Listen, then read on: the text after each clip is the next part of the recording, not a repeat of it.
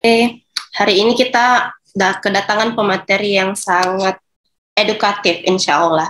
Jadi, uh, saya awalnya akan membacakan dulu CV pematerinya. Saya izin share screen ya, teman-teman.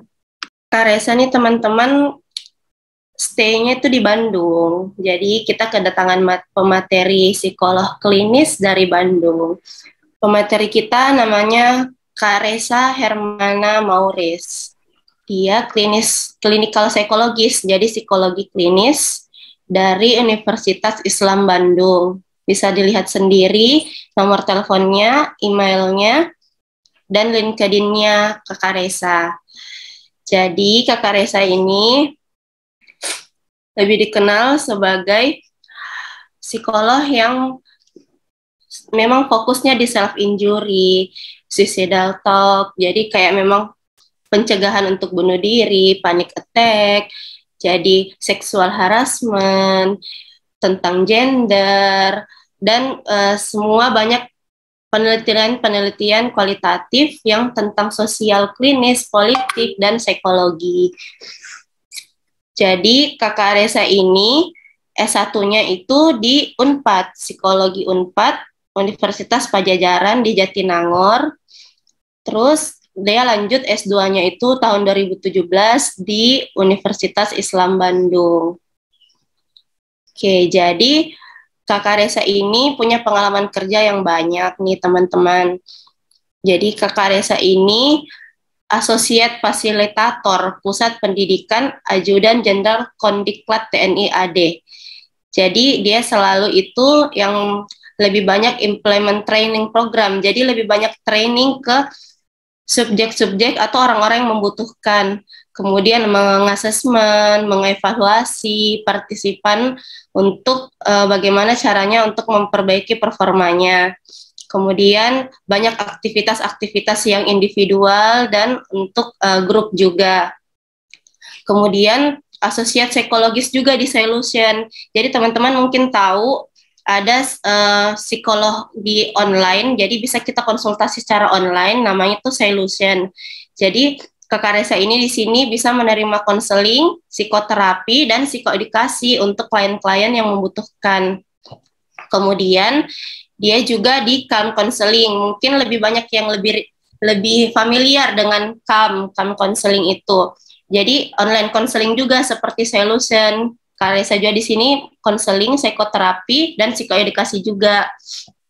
Kemudian di Touch Development Center juga seperti ya seperti sama konseling juga, psikoterapi juga.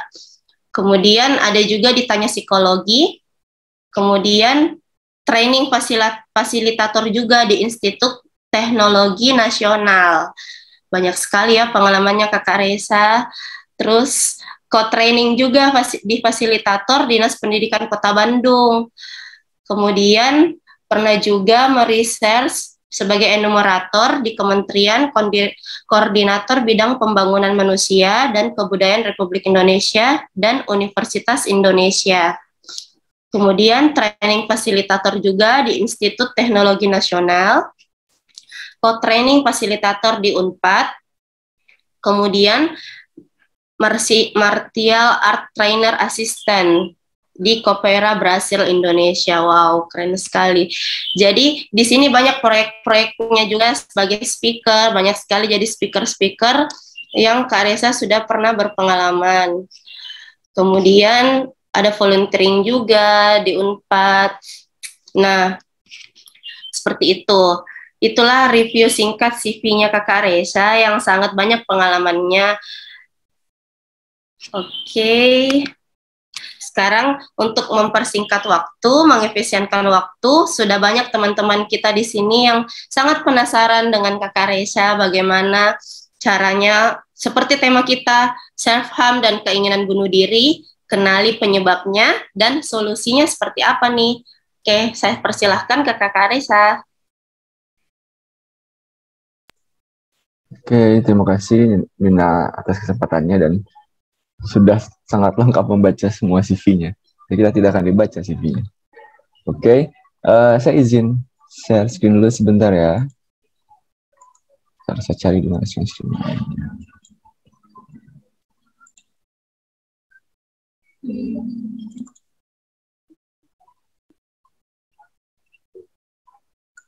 Okay.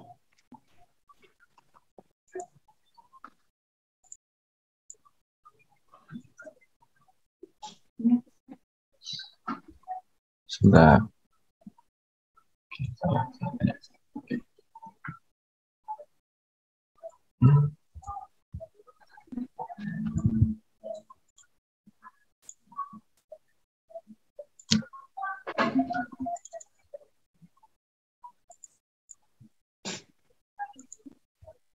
Sudah terlihat jelas ya?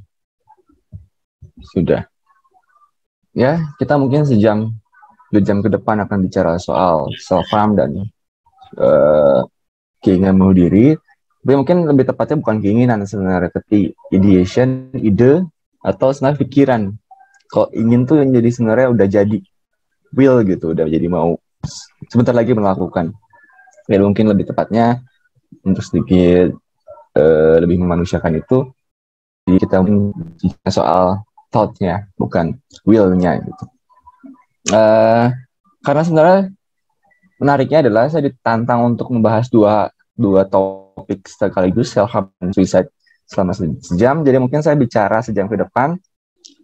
Uh, kita akan bicara umum dulu. Nanti pendalamannya kita mungkin banyak akan di diskusinya seperti itu. Jadi mungkin ada ruang diskusi nanti dan teman-teman bisa bisa apa namanya bisa hmm, menggalinya jangan lebih dalam. Oke. Okay.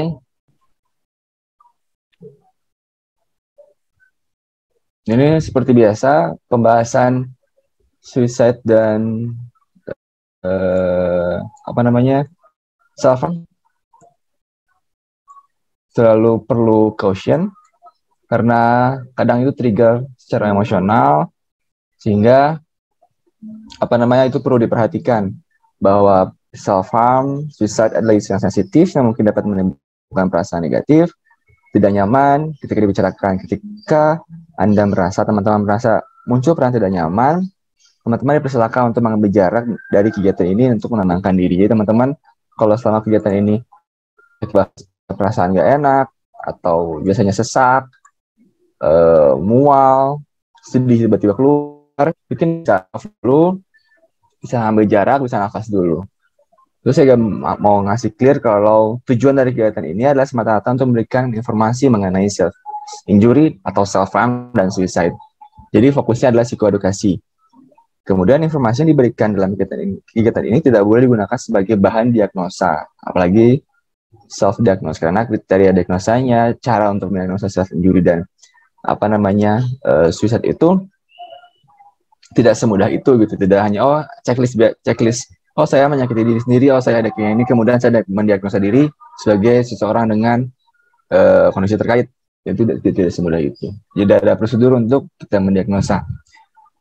Kemudian informasi yang diberikan dalam kegiatan ini tidak boleh uh, kayak diagnosa tadi dan tidak dapat menggantikan bentuk intervensi lain. Karena fokusnya adalah edukasi bukan konseling sehingga mungkin tidak bisa mengganti. Ketika teman-teman butuh intervensi lebih lanjut baik itu dalam bentuk uh, pendekatan psikologis atau pendekatan uh, medis ini tidak bisa menggantikan gitu.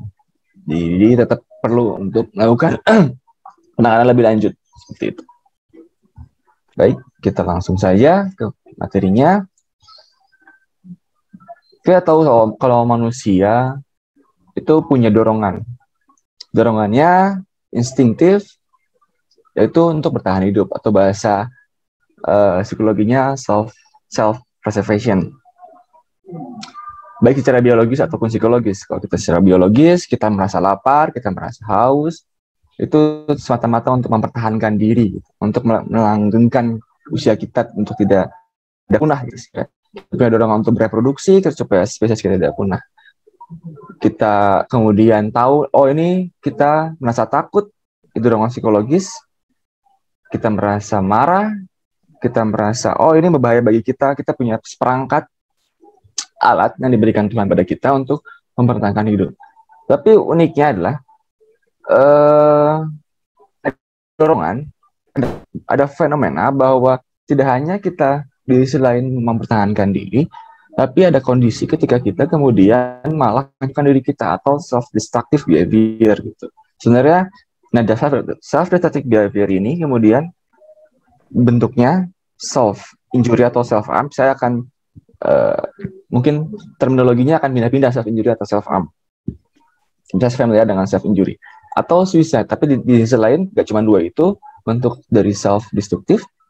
Ada bentuk lain seperti uh, perilaku-perilaku uh, apa namanya mengancam nyawa orang lain, bahkan alkoholik, adiksi terhadap uh, zat adiktif pun sebenarnya bentuk dari self destructive. Dan ini ada dorongan-dorongan sengaja, bukan dorongan yang uh, bukan karena pilihan gitu kadang-kadang. Jadi kita malah di sisi lain secara paradoks pengen hidup dan dibuat untuk hidup. Just tubuh kita secara psikis pun kemudian dirancang untuk bertahan hidup. Tapi di sisi lain kita punya keinginan untuk menghancurkan diri sendiri. Dan itu nggak cuma ada di manusia, tapi juga ada di binatang. Dan itu pertanyaan besar bagi para uh, peneliti dan filsuf. Gitu. Sehingga jangan sang, jangan jangan bingung bahwa perilaku ini belum banyak dibuka atau dimengerti oleh para uh, peneliti. Fenomena masih menjadi misteri dan sulit dipahami bahkan oleh para peneliti. Hal ini karena banyak orang yang memiliki dorongan self-destruktif kemudian menutup dirinya. Tidak tidak membicarakannya, tidak diungkapkan di publik itu sangat jarang uh, di, di, diutarakan oleh mereka. Itu pun tidak tidak itu pun karena sebenarnya banyak stigma yang kurang tepat terhadap perilaku ini, terutama self injury dan suicide, yang membuat te, uh, apa namanya kabut tebal semakin menutupi masyarakat dan menghalangi pemahaman yang yang clear. Bang. Nonton clear. bang. Jadi dan uh, suicide.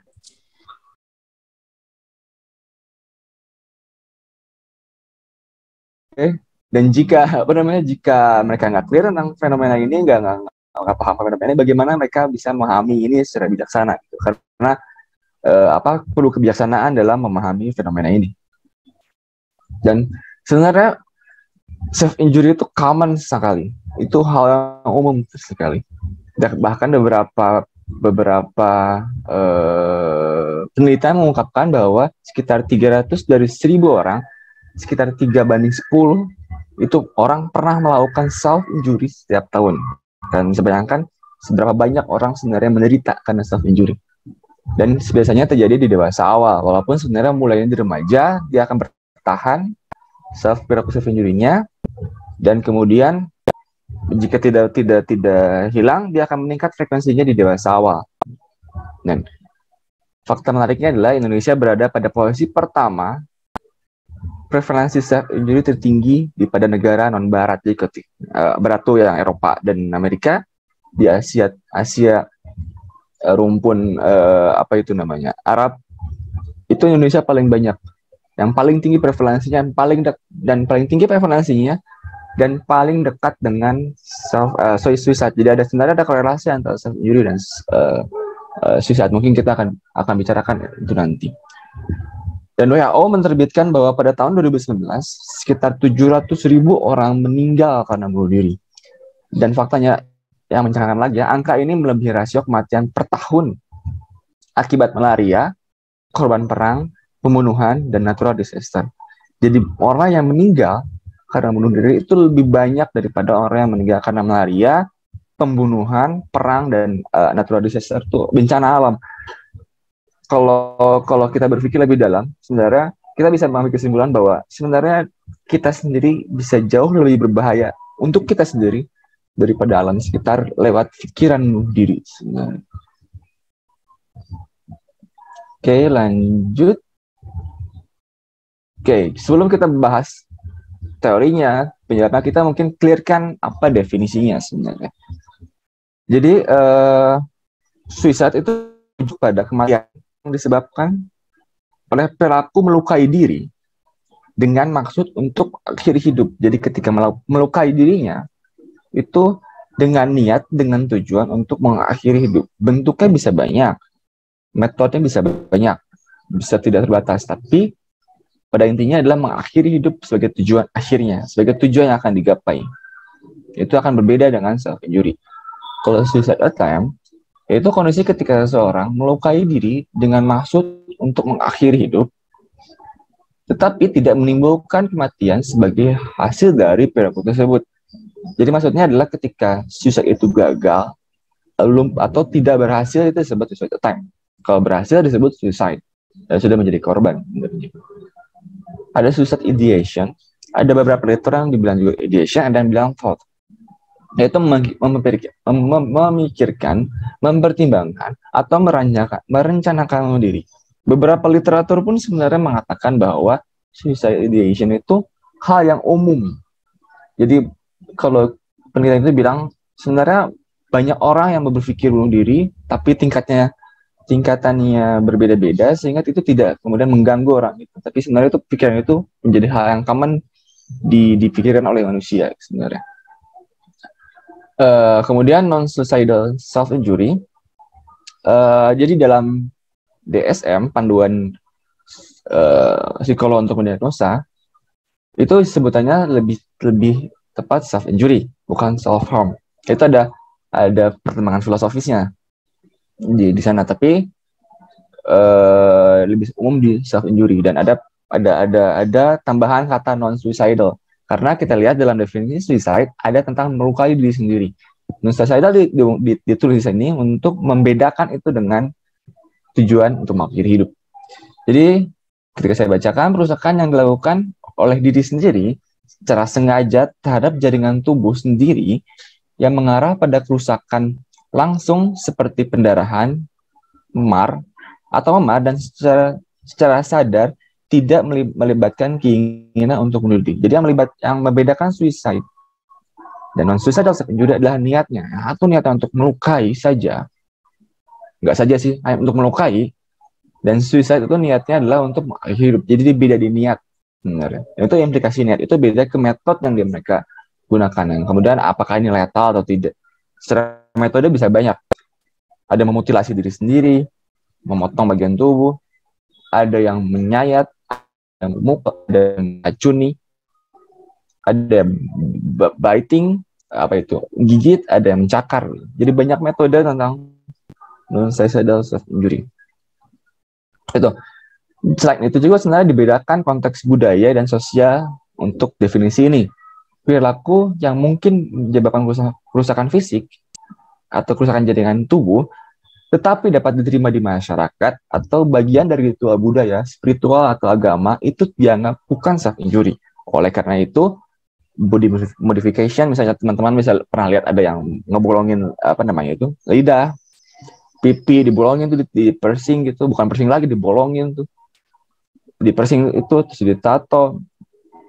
Terus uh, ada beberapa kultur yang kemudian disayat uh, apa namanya? kulitnya itu dikatakan bukan self injury karena terkait budaya. Yang mungkin orang itu punya berbeda motifnya. Satu yang satu yang budaya itu dia obey pada kebudayaannya dia patuh pada kebudayaannya tapi self injury mungkin punya motif lain yang sangat personal.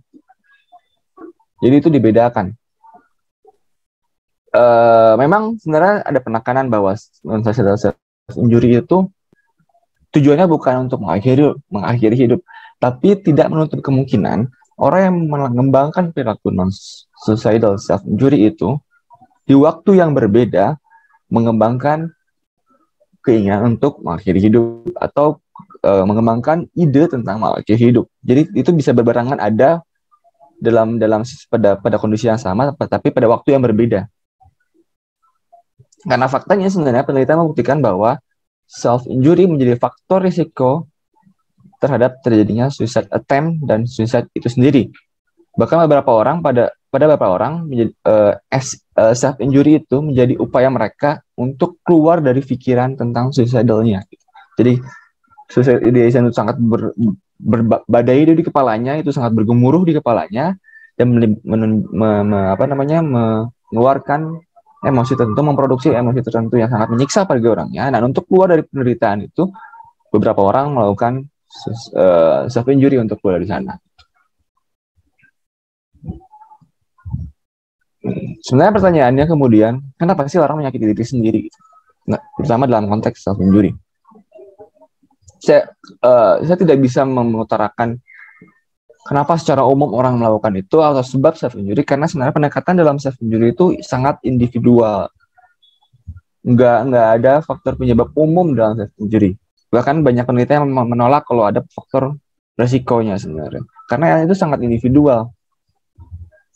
Nggak bisa kita kemudian eh, apa namanya menggeneralisasi penyebabnya, tapi kita harus pendekatannya pendekatan individual. Uh, bisa, rentangnya bisa banyak dari pengalaman traumatis, pengalaman abusive, uh, biological bahkan banyak kalau kita ngomongin faktor yang umum. Tapi mungkin lebih lebih kita fokuskan pada pengalaman individual.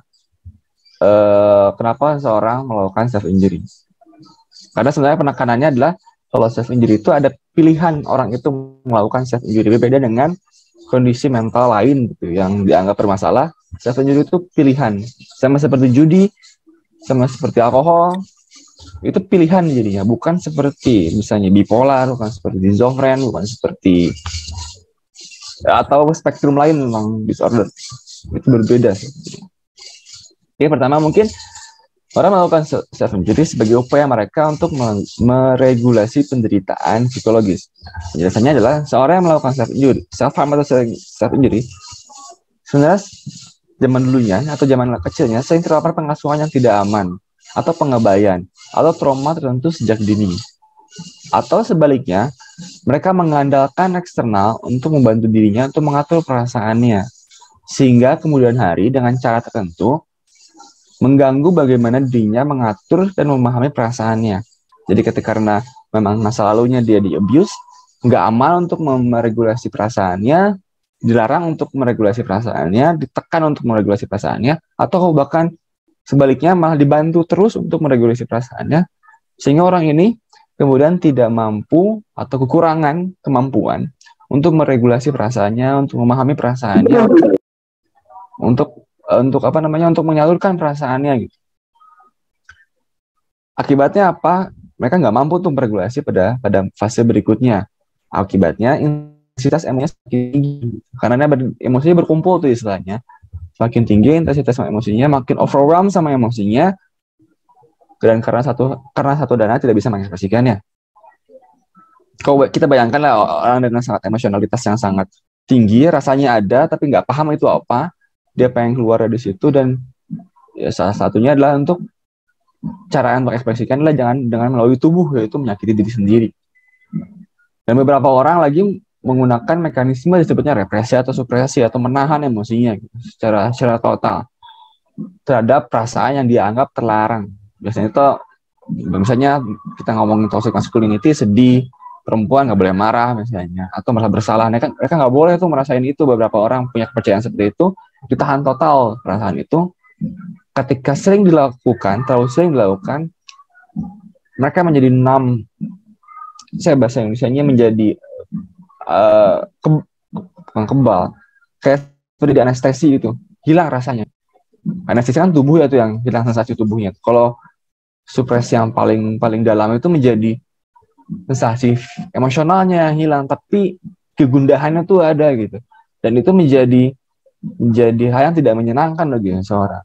Dan clear kalau self injury itu mengakibatkan luka bukan? Dan luka menyebabkan rasa bukan? Dan luka dan rasa yang di, diakibatkan self injury itu dianggap sebagai dia untuk merasakan kembali perasaan. Ketika pada sisi yang lain dia merasa mati rasa atas sisi emosionalnya. Itu pertama. Yang kedua adalah untuk mencari penguasaan terhadap rasa sakit dan trauma.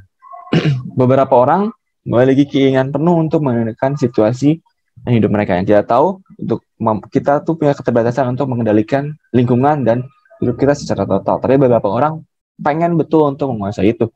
Entah karena pada masa lalunya mereka memiliki kondisi trauma atau bentuk pengasuhan yang membuat mereka merasa tidak berdaya atas apa yang terjadi dalam hidup, merasa helpless dengan betul, uh, mereka nggak mau mau merasa di sana kembali gitu pada situasi helpless lagi. Sehingga mereka sangat obsesif untuk mengendalikan situasi dalam lingkungannya. Pokoknya ini harus kendali saya. Dan bagi mereka nah bagi mereka yang melakukan self injury karena pengen menguasai itu lebih baik untuk menciptakan rasa sakit di tubuh dan mengendalikannya daripada menjadi korban orang lain dari daripada kembali di abuse daripada kembali di di apa namanya di dikontrol lebih baik dia menyakiti diri sendiri. Karena ketika dia menyakiti sendiri, diri sendiri dia punya kontrol terhadap rasa sakit di tubuhnya. Jadi ada kompensasi terhadap kontrol dalam tubuh. Dan dia bisa sembuhkan. Ketika dia disakiti orang lain dia nggak bisa punya kontrol atas itu. Itu yang kedua. Yang ketiga adalah e, mengkomunikasikan penderitaan dan kebutuhan tema yang berulang sebenarnya dari mereka melakukan self injury adalah kemampuan mereka untuk mengungkapkan perasaannya ketika kata-kata dia tidak lagi mampu untuk me me uh, perasaan emosinya mereka mau dia memilih untuk menyayat tubuhnya sebagai kata-kata yang dia pilih untuk mengungkapkan perasaan. Jadi luka kalau istilahnya kalau bahasa hiperbolanya adalah luka menjadi teriakan bagi mereka untuk mengutarakan penderitaan bagi mereka.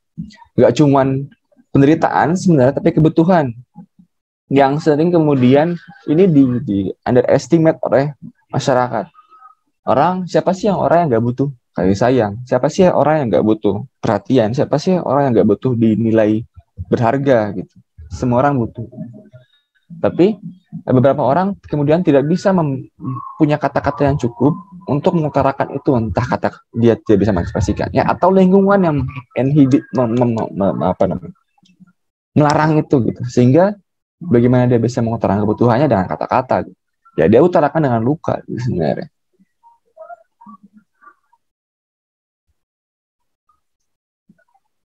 oke okay. ini tadi tentang self injury ini tentang kemudian suicide ini lebih pada tahapannya kenapa kemudian seorang bisa jatuh pada uh, perilaku suicide? Tahap pertama dari suicide itu adalah suicide ideation idenya dan pertanyaannya kenapa itu bisa berkembang suicidal bagi, bagi seseorang.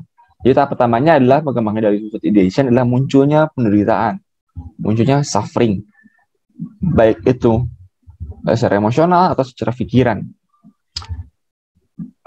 Karena kenapa ini menjadi masalah? Karena sebenarnya konsumsi tubuh kita konsumsi psikologis kita dirancang untuk menghindari rasa sakit atau menghindari penderitaan. Dan ketika pengalaman penderitaan ini eh, apa namanya? Sebenarnya pengalaman penderitaan ini nggak cukup nih. Untuk kemudian oh bisa menjadi kemudian socialization kayak juga gitu kan. Sebenarnya ada butuh variabel lain untuk memunculkan socialization yaitu uh, ketidakadanya harapan.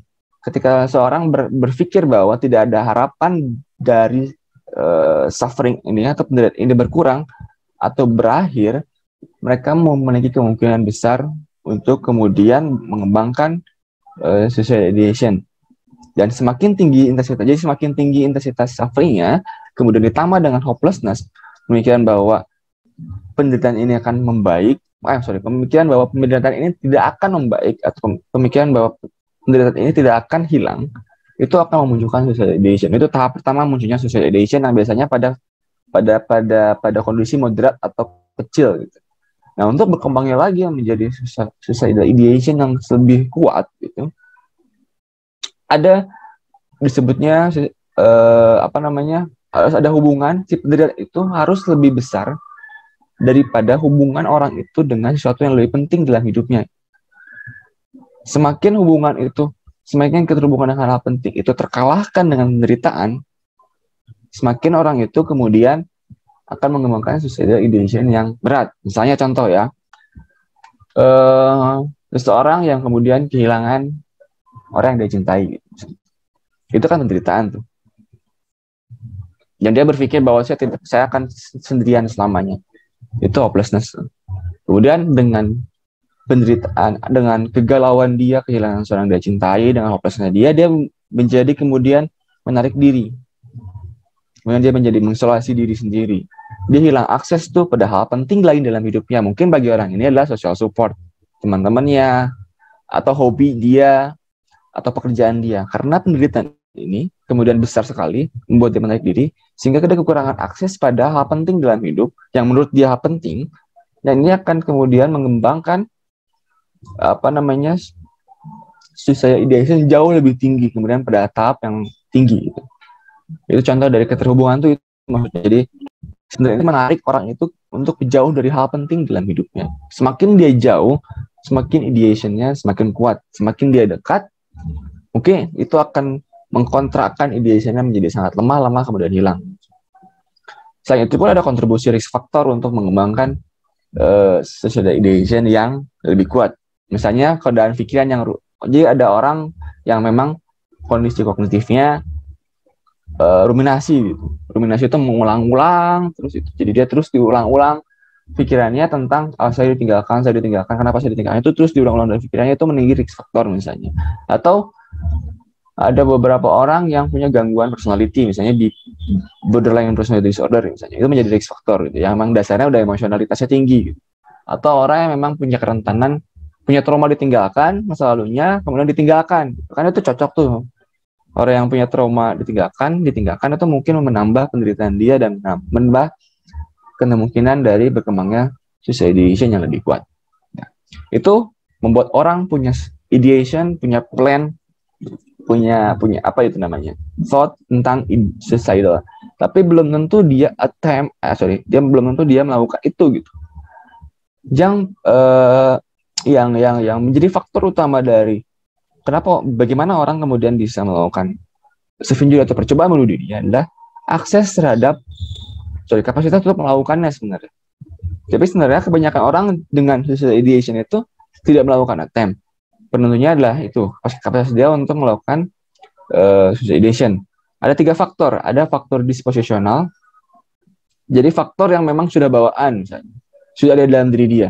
Kita bayangkan orang yang sebenarnya punya fobia terhadap ketinggian orang yang punya fobia terhadap darah itu kemungkinan tidak akan melakukan itu karena dia punya alasan untuk tidak melakukannya karena dia takut dia takut darah untuk untuk melakukan diri sendirinya. Ketika dia mau melakukan metode terkait ketinggian, dia pun takut ketinggian. Itu menjadi faktor penghambat sebenarnya untuk terjadinya uh, suicidal. Atau beberapa orang kemudian jadi orang tuh punya pain sensitivity. Jadi orang yang dilukai dikit dia merasa sakit banget. Ada yang dilukai dikit secara fisik ya maksud saya. Itu nggak kerasa bagi dia.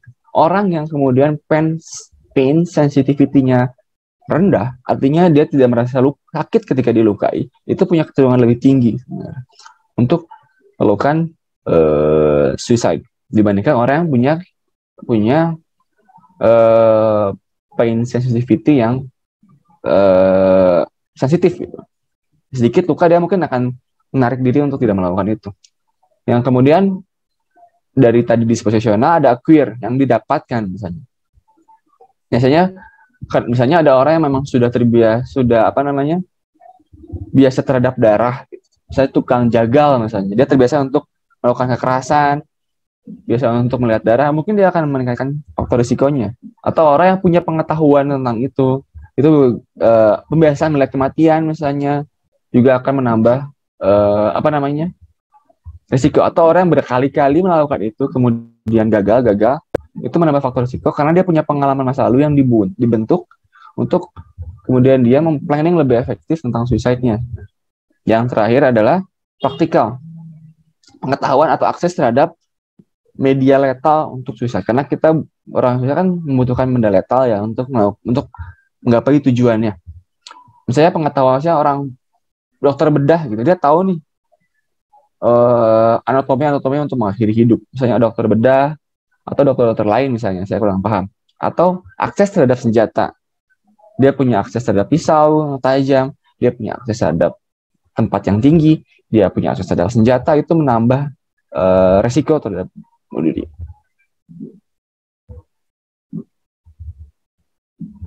Nah, hal yang hal yang hal yang perlu ditekankan adalah bahwa banyak sebenarnya mitos di masyarakat yang berkembang mengenai suicide dan self harm banyak sekali.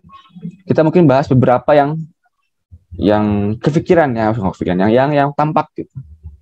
Pertama, self harm itu adalah tentang mencari perhatian. Saya kan dulu ungkapan di awal tadi bahwa pertanyaan sebenarnya apa yang salah dari mencari perhatian? Semua orang toh butuh perhatian. Semua orang toh butuh uh, apa namanya kayak sayang. Semua orang toh butuh dihargai. Semua orang butuh itu gitu. Tapi kemudian masyarakat melihat bahwa itu sesuatu yang salah gitu. oh cari perhatian luka-lukain diri sendiri kemudian untuk caper doang. Tapi sebenarnya mereka pun bukan caper doang. Mereka mereka mereka mengalami penderitaan tertentu gitu. Sehingga dia nggak bisa ngomong untuk saya butuh perhatian saya butuh dicintai atau mencari orang yang mencintai dia gitu. Atau uh, mendapat lingkungan yang suportif untuk mencintai dia atau saling mencintai dia. Sehingga dia melakukan itu. Dia terpaksa untuk memilih melukai dirinya berteriak lewat tubuh untuk mengatakan pada dunia orang-orang sekitar hey saya butuh di butuh cinta juga gitu. Ya, itu sangat manusiawi menurut saya dan itu sangat ya sangat manusiawi gitu dan tidak ada yang salah terhadap itu. Tapi yang salah adalah melukai diri sendiri tetap yang salah adalah melukai diri sendirinya karena itu melukai gitu itu merugikan gitu. tapi butuh perhatian juga. Bukan yang salah. Kedua kalau self harm atau self injury itu fenomena remaja. Yang tadi saya ungkapkan adalah dia mulai di remaja tapi bisa bertahan sampai dewasa awal. Dia bisa bertahan sampai dewasa awal ketika memang di remaja tidak di, di, di, di, dibenahi dengan baik. Bahkan frekuensinya metodenya itu bisa kemudian meningkat ketika dia tidak dibenahi di fase-fase awal perkembangan dari perilaku self injury-nya. Kemudian self harm dan suicide, suicide itu adalah fenomena perempuan. Uh, tidak sepenuhnya benar. Uh, suicide itu lebih sering terjadi di laki-laki, self harm itu lebih sering terjadi di perempuan. Itu betul. Tapi bukan berarti itu fenomena mereka. Gitu. Itu bukan, bukan berarti fenomena gender. Gitu. Karena nggak ada hubungannya sebenarnya. Jadi self harm itu nggak punya jenis kelamin. Jadi nggak jadi jadinya di perempuan doang. Enggak, tapi hanya terjadi di tapi sering terjadi di sini. Penjelasannya adalah laki-laki cenderung diberi dikonstruksi untuk memiliki agresi, dikonstruksi untuk menjadi nekat, dikonstruksi untuk menjadi nakal, dikonstruksi untuk berani, punya agresi lah bukan berani, untuk untuk sembrono gitu. Dan suicide butuh itu sebenarnya. Suicide butuh kesembronoan, butuh kenekatan untuk jadi. Sehingga laki-laki lebih punya atribut yang mendukung suicide, perilaku suicide. Sehingga banyak lebih banyak laki-laki. Nah, kalau self harm itu tidak membutuhkan atribut lebih besar, yang besar agresi yang lebih besar daripada suicide. Sedangkan perempuan tidak dikonstruksi masyarakat untuk menjadi nakal, untuk menjadi nekat, untuk menjadi sembrono, sehingga mereka tidak punya uh, apa namanya karakteristik seperti itu, sehingga itu lebih terjadi. Gitu. Kemudian ya mungkin lebih, apa suicide kan lebih, lebih suicide itu lebih lebih punya penderitaan yang lebih sebenarnya daripada self harm. Bahkan dia bisa self injury dulu beberapa waktu, kemudian berkembang menjadi suicide. Itu bisa sangat terjadi. Jadi kemungkinan kenapa laki-laki lebih banyak? Karena laki-laki terus melakukan self harm, dia gagal terus, kemudian dia tidak dapat akses kesehatan mental untuk menanggulangi self injury-nya karena hmm, kita tidak bisa mengkiri kalau ah laki-laki masa sakit, masa ah laki-laki masa depres. Itu masih dianggap tabu gitu. Sehingga dia terus terjebak dalam penderitaan itu ya akhirnya berkembang menjadi uh, suicide. itu yang ketiga. Yang keempat adalah bunuh diri lebih sering jadi di kalangan orang dengan kondisi ekonomi menengah ke bawah. Itu mitos yang terjadi. Tapi mungkin kita lupa kalau misalnya Korea, Jepang sebagai eh, negara dengan GPA tertinggi, GPA tertinggi, atau negara maju gitu, itu juga sebenarnya punya suicide rate yang tinggi sebenarnya dibandingkan dengan Indonesia sebenarnya. Jadi self harm Indonesia banyak tuh, tapi sebenarnya Indonesia secara preferensi suicide nggak terlalu tinggi, lebih tinggi Korea dan uh, Jepang yang sebenarnya punya tingkat ekonomi menengah. Jadi sebenarnya nggak ada hubungannya antara tingkat ekonomi dan uh, suicide.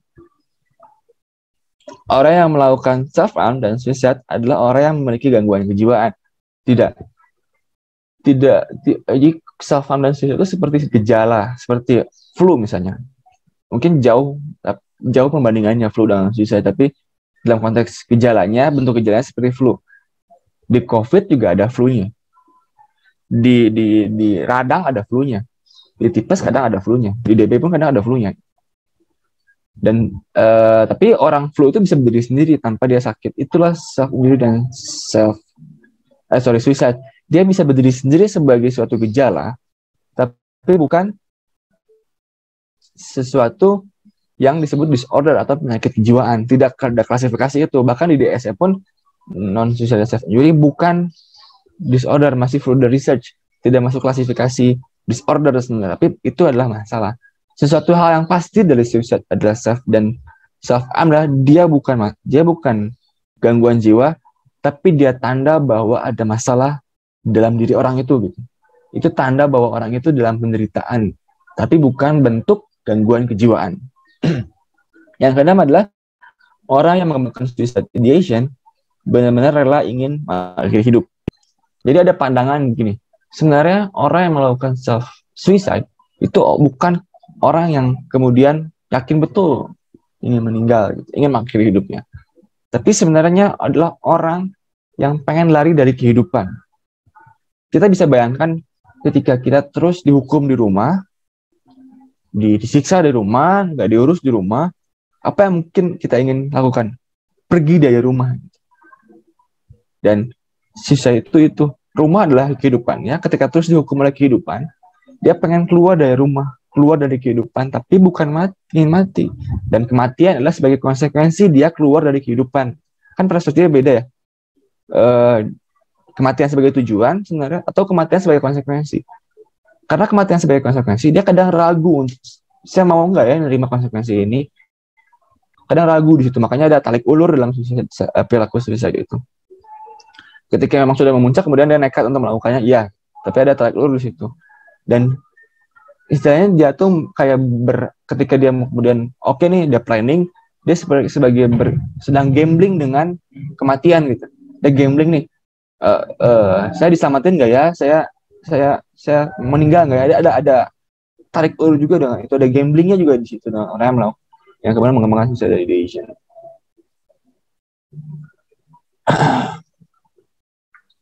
uh, ini tambahan existential perspektif of self and suicide ini framework yang saya, saya sering gunakan dalam eh, apa namanya dalam memahami suicide dan self injury eh, mengalami melalui perspektif eksistensial. Jadi dasar asumsi dari eksistensial saya saya kemudian tarik ke belakang tentang dasar asumsinya. Manusia adalah makhluk yang kemudian memiliki kemampuan untuk merenungkan kehidupan, menyadari bahwa dirinya hidup, dan karenanya menyadari bahwa kehidupan suatu hari akan berakhir. Kesadaran akan keterbatasan hidup menjadikan manusia berkeinginan untuk hidup sebermakna mungkin sesuai dengan struktur nilai personalnya dan menggapai tujuan hidup yang ditentukan oleh dirinya. Itu prolognya tuh tentang eksistensial. Jadi semua orang tuh udah sadar atas kehidupannya, merenungi kehidupannya, tahu dia hidup, karena karena dia tahu dia hidup kemudian dia tahu kemudian dirinya akan berakhir atau dirinya akan meninggal. Atau sorry akan mati akan hilang gitu. Dan pemahaman atas hidup dan mati ini membuat dia ingin mengisi antara gap antara hidup dan mati ini dengan sesuatu yang bermakna. Sesuai dengan nilai personalnya dan sesuai dengan uh, apa namanya tujuan yang dia ingin gapai secara personal. Dan hambatan dalam menemukan atau menggapai makna hidup akan menjadikan manusia mengalami sangat disebut existential frustration. Dan perasaan tidak bermakna hidup mendorong manusia mengalami existential vacuum. Ketika dia kesulitan untuk mencari atau menggapai dia frustration, dan ketika itu hilang, kosong, jadi vakum. Apa hubungannya dengan self dan suicide? Seseorang yang mengalami self injury cenderung mengalami existential frustration. Mereka menghadapi hambatan dalam menggapai apa yang berarti dalam kehidupan mereka. Mereka menjadi kebingungan untuk memarah, memahami, memenuhi, dan mengatur pencarian mereka atas makna. Beberapa dari mereka menjadi marah, bersalah dengan intensitas yang sangat tinggi. Beberapa dari mereka menjadi kosong dan kebingungan, dan beberapa dari mereka menjadi kesepian dan inferior. Jadi, karena mereka kesulitan untuk menggapai apa yang berpenting dalam hidup mereka, mereka mungkin merasa marah, dan merasa bersalah. Logikanya adalah marah kan harus diungkapkan ya. Marah tuh keluar gitu. Ketika tapi ketika dia tidak bisa marah pada eksternal, siapa yang paling mudah dimarahi? diri sendiri. Sampai ketika dia merasa bersalah, rasa bersalah, kemudian harus hilang dengan dihukum. Nggak ada hukum nih. Eh, cara mudahnya adalah cara cara mudah logikanya adalah hukum diri sendiri. Dan beberapa orang merasa kosong dan menjadi kebingungan apa yang dia ingin gapai. Dan perasaan kosong ini kemudian dianggap sebagai yang tadi saya bilang numbness itu. Kemati rasaan gitu. kosongan itu nggak enak nggak nyaman. Walaupun sebenarnya nggak enak itu kosong gitu jadinya. Eh, nggak uh, tahu apa yang harus dikerjakan gitu. Nggak tahu ini rasanya apa. Itu pun sangat tidak mengenakan. Makanya saya, dia yang saya bilang melakukan self injury beberapa lagi kemudian merasa kesepian. Dia teriakan kebutuhannya gitu. Dan kemudian merasa inferior gitu. Dan perasaan inferior dikompensasi untuk menguasai diri lingkungan dengan melalui self injury. Kondisi ini, kondisi di atas membuat seseorang rentan terhadap situasi yang memunculkan intensitas emosi dan pikiran negatif yang tinggi ketika diadakan pada situasi yang disebutkan di atas. Intensitas ini adalah yang kemudian terekuesi melalui self injury. Di sisi lain, sisa dapat diartikan sebagai upaya untuk lari dari kehidupan, nah, seperti saya ungkapkan tadi. Entah karena tadi, entah karena kemudian dia frustasi terus ya saya menyerah untuk menghilangkan pencarian saya. Atau memang dia belum dapat dapat dari awal gitu sehingga menjadi kosong.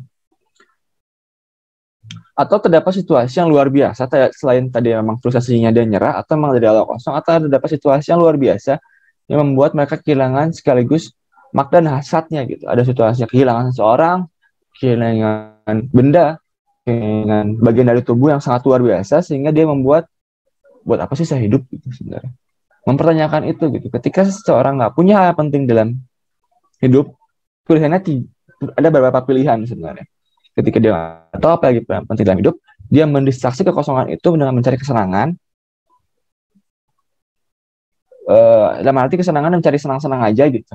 Bentuk perilakunya bisa mabuk bisa apa itu istilahnya itu? Adiksi seksual atau eksesif secara seksual mengeksploitasi orang lain itu mencari kesenangan dalam hal ini atau mencari kekuasaan. Dan beberapa lagi tetap tetap berjuang. Ketika dia kosong dia bisa bisa mengkompensasinya mencari kekuasaan dan mencari uang misalnya. Korup misalnya itu kekuasaan tuh. Atau mencari kesenangan. Dan pada titik ini itu ketika seorang kemudian mencari kesenangan atau mencari kekuasaan ada beberapa yang menyerah. Dan kemudian berpikir saya nggak punya apa-apa lagi dan kehidupan menjadi tidak masuk akal bagi dia. Itu perspektif eksistensial terhadap self harm. Self kemudian saya rangkum lagi kemudian lebih cenderung kepada frustration, kesulitan, ke bukan kegagalan, kesulitan, hambatan dalam mencari, tapi dia masih punya hasrat dalam mencari, artinya dia ada dalam proses dalam proses perjuangan. Tapi kalau suicide itu ketika dia sudah melakukan itu dia sudah berpikir nggak ada nggak make sense lagi. Tapi ketika masih ada dialektis masih ragu-ragu dia pun masih berjuang untuk kemudian mengembangkan makna dalam hidupnya menjadi reason apa yang membuat dia bertahan dalam kehidupan. Uh, nah fokusnya sebenarnya pada prevention daripada pada uh, kuratif. Kenapa? Karena mereka dua dorongan itu dua ide ini tuh dua kondisi ini tidak terjadi setiap saat. Jadi kadang seasonal. Orang kadang berpikir untuk self injury pada situasi tertentu, kemudian hilang pada, pada situasi yang lain. Berbeda sama bipolar dan yang lain karena dia persisten bertahan. Ini kan seasonal kadang-kadang suicide self sama self harm tuh. Jadi nggak setiap saat. Jadi mungkin lebih pas pasnya adalah kita melakukan preventif supaya itu tidak kemudian menjadi pola yang berulang terus menerus. Dan Upaya preventif yang ini bisa dilakukan juga dengan orang yang tidak mengembangkan pikiran bunuh diri dan tentang self harm. Karena perspektifnya adalah uh, eksistensial, maka upayanya adalah untuk mengembangkan meaning hidup, eh, meaning, meaning in life, dengan mempromosikan meaning in life. Cara pertama adalah saya sebut sebagai past legacy, adalah mengembangkan, mengingat atau menarik kembali legacy-legacy di masa lalu dan kemudian antara pada akhirnya akan diaktualisasi ada beberapa sumber yang kemudian kita bisa pikirkan di masa lalu. Masa lalunya bisa kemudian tidak terlalu jauh gitu beberapa tahun, tapi mungkin dekat-dekat ini gitu. Pertama kreatif. Kreatif adalah uh, kondisi uh, misal kita pikirkan tentang kondisi ketika kita mencipta sesuatu, memberikan sesuatu pada dunia dan itu sangat meaningful bagi kita. Sorry.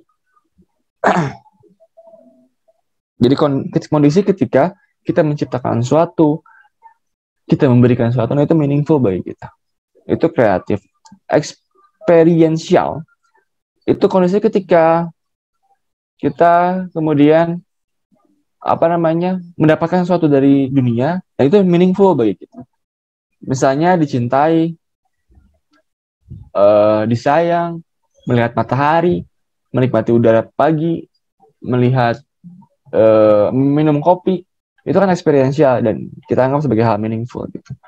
Kemudian attitudinal. Attitudinal karena ketika kita berhasil melampaui penderitaan kita gitu. Kita kita berhasil untuk deal with our suffering atau deal sama destiny kita gitu. Ada sesuatu kondisi yang kita tuh nggak bisa melakukan apa-apa, tapi sikap yang kita bisa kembangkan, pikiran kita bisa kembangkan, atau kita bisa menyelesaikan satu masalah besar dalam hidup kita, dan itu bisa menjadi sangat berharga. Teman-teman bisa kemudian ingat-ingat itu dan kemudian diolah seperti ini. Tadi kapan momen terbaiknya terkait dengan kreatif experience dan attitudinal. Kemudian ketika kita sudah dapat nih beberapa momen-momen terbaik, momen-momen sangat berarti, kita kemudian simpan itu, teman-teman boleh tulis untuk mengingatnya. Kemudian ingat-ingat pada waktu itu apa yang dikerjakan, apa yang dipedulikan, dan apa yang paling penting dalam momen itu. Misalnya eh, kreatif misalnya. Saya misalnya bermakna adalah ketika saya kemudian bisa mengajar misalnya. Itu momen berharga misalnya. Apa sih yang dikerjakan saya pada waktu itu? Ya, saya ngajarin tentang psikologi, saya memberi edukasi, itu yang dikerjakan pada waktu itu. Terus apa yang kalian saya pedulikan?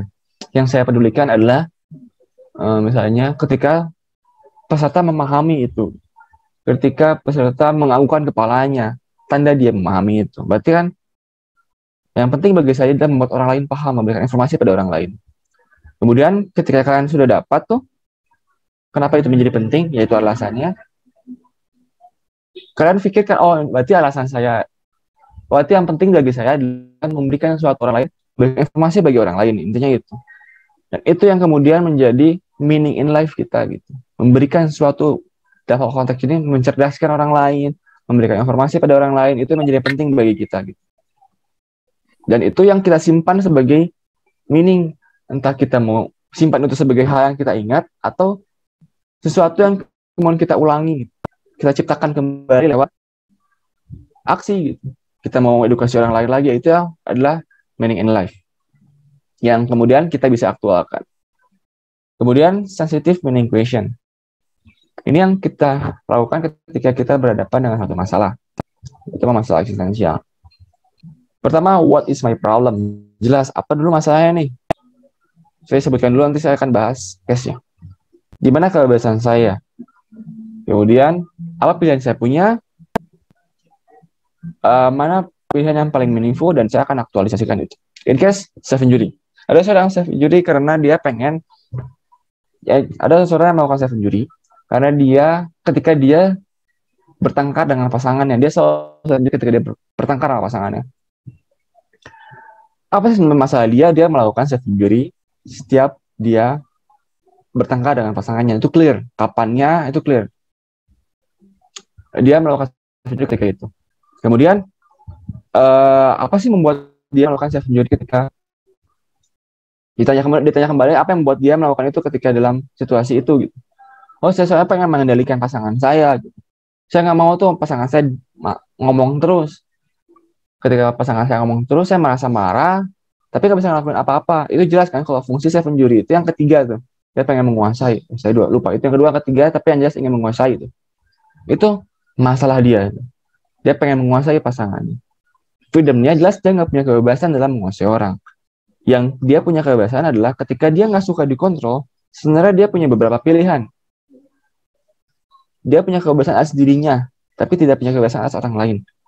Dia punya kebebasan untuk sikapnya dan pilihannya. Kemudian saya akan minta orang itu kemudian memberikan pilihan yang mungkin terjadi. Nah, pilihan ini catatannya adalah jangan libatkan norma, jangan libatkan standar masyarakat jadi liar lah, menjadi amoral lah sebenarnya. Oh, katanya, apa pilihan yang kamu punya ketika itu? Pilihan yang saya punya adalah ketika pasangan saya uh, terus ngomong gitu dan memarahi saya, saya punya pilihan untuk kabur. Saya punya pilihan untuk memukul pasangan saya, nggak pakai moral kan? Saya punya pilihan untuk menutup telinga saya. Saya punya pilihan untuk diam saja. Saya punya pilihan untuk ya tadi kabur saya sudah bilang bicarakan. Dan saya punya pilihan untuk apa misalnya? Untuk ya self injury gitu. Karena kontrol saya hanya hanya di diri saya gitu. Kebebasan saya hanya di, kebebasan yang saya miliki adalah atas diri saya. Kemudian saya akan tanya, mana lima mana lima pilihan ini yang kemudian uh, meaningful buatmu? Saya waktu itu melakukan self injury sebagai hal yang meaningful menurut dia pada waktu itu dia berpikir. Tapi di antara yang lain itu yang amoral itu mana yang paling meaningful buatmu? Kamu bisa saja membunuh pasanganmu pada saat itu, tapi kamu tidak lakukan karena mungkin itu nggak meaningful. Lalu apa yang meaningful buat dia? Ah mungkin eh, baik pergi gitu. dari kondisi itu. Tapi itu pilihan harus muncul dari kita dengan melebarkan perspektif bahwa kita bisa melakukan apa saja, bahkan hal perilaku yang tidak bermoral sekalipun. Dalam perspektif itu, baru kita sudutkan atau kecilkan pada perspektif mana yang sesuai dengan nilai saya dan lakukan gitu. Ketika melakukannya mungkin tidak mudah. Tapi setidaknya kita punya pilihan lain selain melakukan self injury gitu. Kita ada, ada wawasan bahwa ketika saya dimarahin, saya sebenarnya bisa kabur loh. Wawasan itu yang penting dalam sensitive meaning question. Nanti mungkin bisa didiskusikan lebih lanjut. Nah, ini yang kemudian lebih tepat ketika kita sudah mengembangkan suicide ideation dan self harm, tapi tidak dalam periode itu. Yang harus dilakukan adalah pertama kita paham apa pikiran dan perasaan yang melatar belakangi dari suicide ideation dan self harm. Tapi sebenarnya apa yang membuat kita punya pikiran itu alasan dari kita pengen melakukan self injury dan alasan dari kita ingin melakukan uh, suicide. Alasan dibaliknya, kamu yang kita kita merasakan tentunya orang yang pertama kali tahu itu adalah kita seharusnya. Perasaan apa dan pikiran apa yang menyertai itu sebenarnya. Ketika pra, kosong aja itu kosong berarti perasaan. Kadang orang berpikir bahwa kekosongan itu bukan perasaan, tapi kosong itu adalah perasaan. Vakum itu adalah satu perasaan. Kemudian, apa alasan kita merasakan itu? Oh, sorry, sorry. Apa alasan kita merasakan itu atau memikirkan itu? Apa yang membuat saya marah ya? Apa yang membuat saya kosong ya? Itu mungkin kosong itu yang paling sulit untuk dibuat alasannya. Apa yang membuat saya kesal ya, apa buat saya sedih atau membuat saya berasa bersalah. Biasanya clue-nya adalah ketika perasaan itu muncul, kita sangat concern pada kejadian. Misalnya ketika kita marah dan melakukan self injury, ada satu concern dalam diri kita. Saya pengen hancurin dia, saya pengen pukul dia itu concernnya. Nah. Ketika kita tahu nih perasaannya apa, ketika kita tahu apa yang membuat kita merasakan itu dan apa yang melakukan kita memikirkan itu, kita kemudian bisa kembali ke pertama kita bisa kembali ke sensitive meaning questionnya kita bisa mulai dari yang ini lagi kira-kira udah tahu alasannya dan perasaannya kita bisa kembali ke sana tapi ketika kita, ketika kita langsung ke sini tanpa tahu alasan dan ke, tanpa tahu pikiran perasaan dan alasannya akan lebih sulit jadi kita bisa mulai dari tahu latar belakang dari perasaan dan pikirannya tapi ketika itu sulit dilakukan ada kata kalimat ajaib yang mungkin kita bisa lakukan. Kalimat ajaibnya adalah seperti ini kita bisa pertanyakan pada diri sendiri. Jika kita entah bagaimana bisa secara ajaib mengubah satu hal dalam hidup yang kemudian akan menghilangkan resiko kita untuk memikirkan suicidal ideation dan self harm. Apakah itu? Jadi kita ber berangan-angan kita kita punya tongkat ajaib nih. Dan saya mau mengubah satu hal dalam hidup yang bisa kemudian uh, apa namanya menghilangkan resiko saya resiko untuk suicidal ideation dan self harm mungkin itu akan berhasil misalnya aduh kosong rasanya uh, saya dia melakukan self injury dan dan bilang merasa kosong tapi saya nggak tahu kosongnya kenapa nih terus saya cuman dia pikiran apa ketika saya punya tongkat ajaib ini dan merubah apa ya kira-kira oh mungkin uh, saya akan berharap bahwa semua orang akan mencintai saya gitu. Saya berharap bahwa saya memiliki orang yang saya cintai gitu. Ya, itu mungkin penyebab kosongnya gitu. Dia butuh orang dalam hidupnya. Dia butuh orang lain untuk mengisi kekosongan hidupnya. Dan itu alasannya gitu. Dan ketika alasannya sudah ada, balik lagi ke question meaning, eh, sensitive meaning question. Itu uh, cara yang reason. Cara yang kedua adalah stressing and property factor and strength. Orang kebanyakan tadi kita udah ngomong kapan itu terjadi, kapan saya injury eh perasaan apa yang fokusnya pada hal yang memang painfulnya, sufferingnya. Tapi juga kita bisa berfokus pada hal yang uh, strengthnya. Kita bisa tanyakan pada diri sendiri, kapan sih kita gak gak memikirkan tentang self injury, gak memikirkan tentang diri dan apa alasannya? Oh iya, saya saya dia bilang misalnya saya selalu self injury ketika saya malam ketika malam hari. Tapi ketika siang enggak sih. Emang siang ada apa nih? Tidak melakukan, tidak berpikir seperti itu.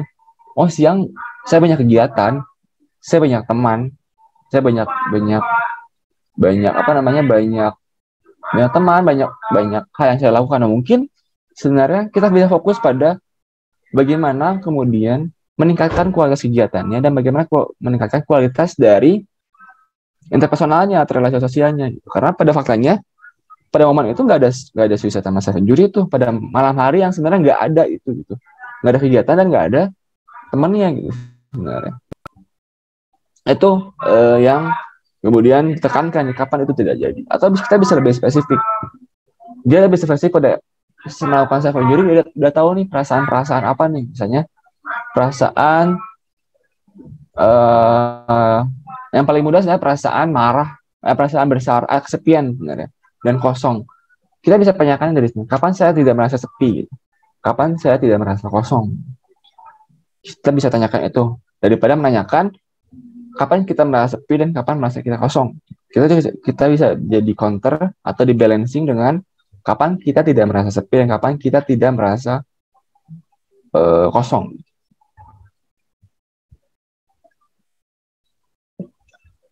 Ini yang seperti sebenarnya sama yang pertama, kapan apa yang membuat kita tidak merasakan uh, pikir bunuh diri dan tentang sebenarnya apa alasannya itu yang seperti yang pertama ada pengulangan nah untuk menutup ini saya ada sedikit video ini saya lupa ini caranya untuk uh, share sound ya karena ada ada ada suaranya saya mungkin minta izin untuk tanya apakah ada suaranya apa enggak ya Ada nggak suaranya? Ada. Oke. Ya. kasih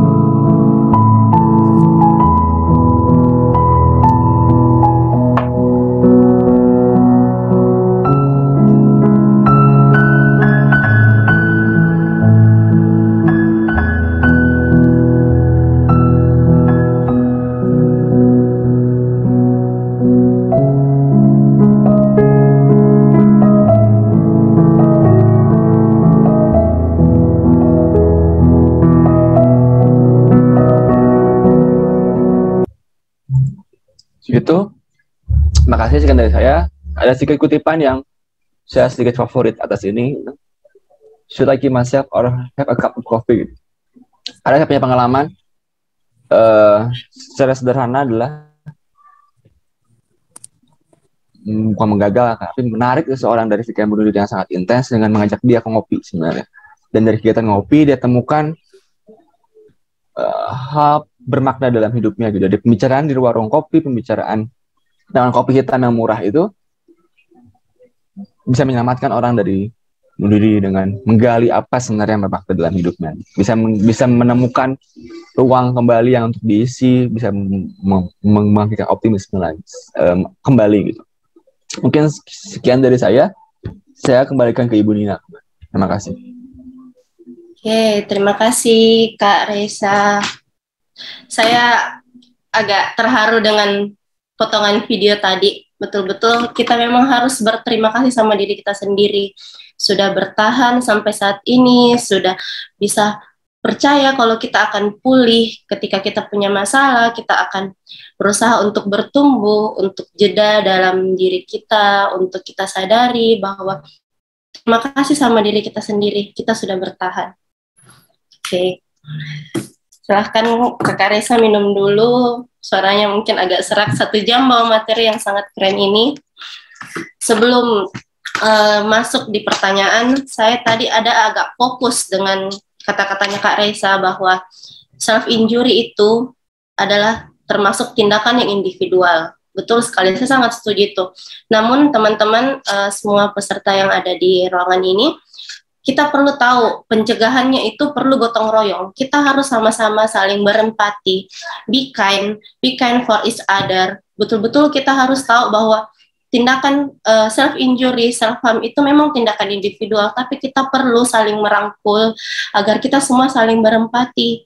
Karena uh, kita perlu saling membantu menolong orang untuk melupakan atau uh, punya alasan untuk lebih hidup. Maknanya lebih tahu bahwa saya butuh hidup seperti itu. Oke, okay.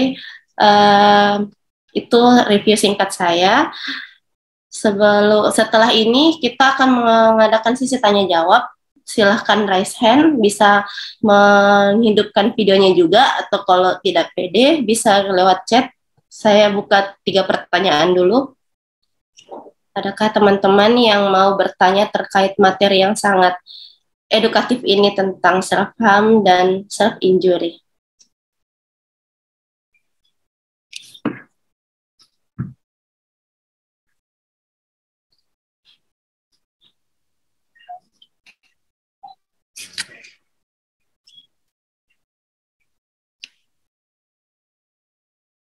Oke, silahkan Kak Muhammad Silmi. Oke, baik. Uh, Bismillahirrahmanirrahim. Assalamualaikum warahmatullahi wabarakatuh. Waalaikumsalam. uh, terima kasih atas kesempatan yang diberikan, Kak. Mohon izin bertanya, Kak, uh, terkait dengan self-harm. Tadi di salah satu slide-nya Kakak, uh, ada self-harm itu adalah fenomena perempuan. Adalah fenomena perempuan. Uh, dan juga memang just uh, in case memang kebanyakan ya perempuan yang biasanya uh, melakukan tindakan self harm. Nah, yang menjadi pertanyaan saya, apakah self harm ini erat kaitannya dengan gender? Apakah perempuan ya, itu punya uh, apa ya kejiwaan atau gangguan kejiwaan yang khusus memang di perempuan?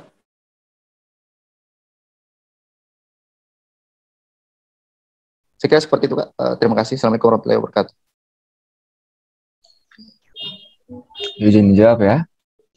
Hmm, sebenarnya gender ya sebenarnya, bukan bukan seksuality kan sebenarnya. Jadi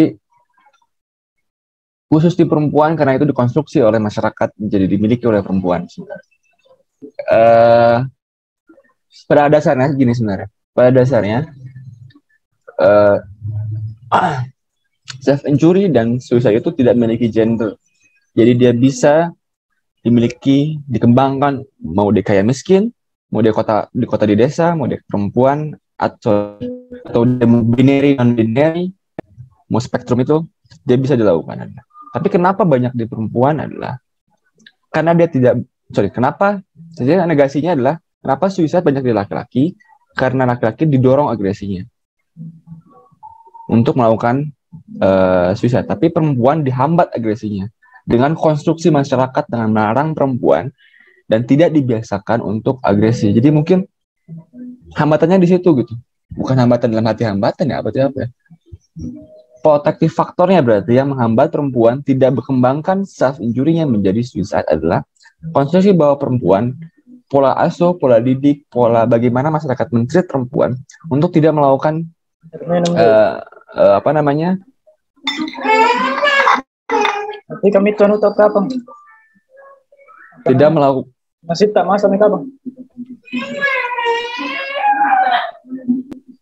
Tidak mengizinkan, eh, tidak dididik untuk melakukan agresi pertama itu. Jadi tidak berkembang ke suicide. Banyak banyak perempuan adalah ini bias sebenarnya karena sebenarnya juga banyak laki-laki dan presentasinya nggak terlalu banyak sebenarnya cuman yang muncul ke masyarakat yang muncul ke permukaan nih itu perempuan karena perempuan lebih diterima untuk mengungkapkan itu untuk diketahui self injury-nya lebih diungkapkan itu lebih ya nggak apa-apa perempuan ya saya nggak tahu nggak apa-apa kamu tahu saya saya nggak apa-apa saya tahu tentang kamu self injury ya karena perempuan dianggap wajar tapi laki-laki, ah, lu masa gitu aja melakukan diri sendiri? Kan beda pandangannya. Jadi laki-laki menutup itu sebenarnya. Tapi laki-laki juga nggak nggak nggak apa namanya nggak nggak menutup kemungkinan. Itu pertama. Kemudian kita nggak bisa, saya agak jauh sebenarnya ngomongnya. Kita nggak bisa menutup mata bahwa kita dikembangkan dalam budaya patriarki yang sendirian perempuan dianggap sebagai korban bagaimana individu yang lemah, individu yang dieksploit dalam beberapa hal. Terutama dalam bentuk kekerasan seksual atau kekerasan berbasis gender lain lah. Dan itu menjadi spesifik terjadi di perempuan dan itu menjadi link atau pathway yang mulus untuk kemudian berkembangnya self injury. Jadi itu jawaban saya adalah pertama mungkin itu bisa bias karena Data laki-laki yang tidak terungkap karena laki-laki cenderung menutupinya. Pertama itu. Kedua, dalam budaya patriarki, perempuan lebih dieksploitasi gitu. dan sehingga dia lebih rentan untuk mengalami kekerasan berbasis gender. Itu yang menjadi pathway mulus berkembangnya self injury dan kamarnya self injury di perempuan. Itu mungkin jawabannya saya. Terima kasih. Oke, bagaimana saudari saudara Silmi? Apakah menjawab? ya, uh, saya kira sangat menjawab. Kak. Di ada beberapa alasan kenapa memang perempuan uh, katakan sebagai apa ya yang lebih banyak. Cuman uh, sebagai perhatian juga bahwa uh, sebenarnya juga laki-laki ya uh, mereka punya apa ya uh, ego ya seperti itu. Mereka mungkin agak takut memper, memperlihatkan. Sebenarnya kita laki-laki juga uh, punya masalah yang tersendiri, tapi tidak mungkin tidak mungkin apa mereka agak takut memperlihatkan. Tapi ini ini cuma untuk penyampaian bahwa laki-laki juga itu adalah manusia juga butuh perhatian seperti itu. Saya kira seperti itu. Terima kasih kak. Oke. Okay. Saya respon dikit, saya respon dikit yang itu sementara gitu. Saya okay. senang pemikirannya. Uh, ya betul, laki-laki juga manusia dan perempuan juga manusia. Tapi anggapan bahwa mental health adalah suatu kelemahan, anggap bukan mental health tapi anggapan bahwa uh, kegagalan, emosi negatif itu sebagai sesuatu yang menjijikan gitu. Bagi laki-laki, sesuatu yang uh, terlarang bagi laki, tapi padahal sebenarnya ya emosi negatif, spektrum emosi negatif itu juga part of life bukan? Itu bagian dari kehidupan yang kapan sih ada orang nggak sih dalam hidup yang nggak pernah ngerasain emosi negatif?